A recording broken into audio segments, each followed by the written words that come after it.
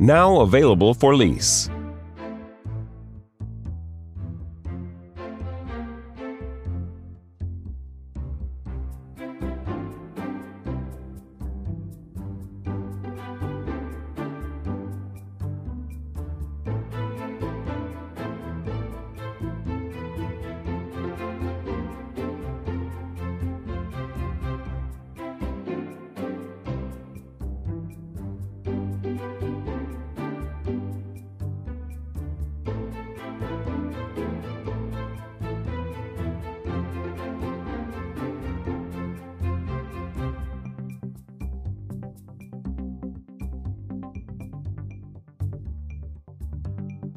For more information about this commercial property, please contact the listing agent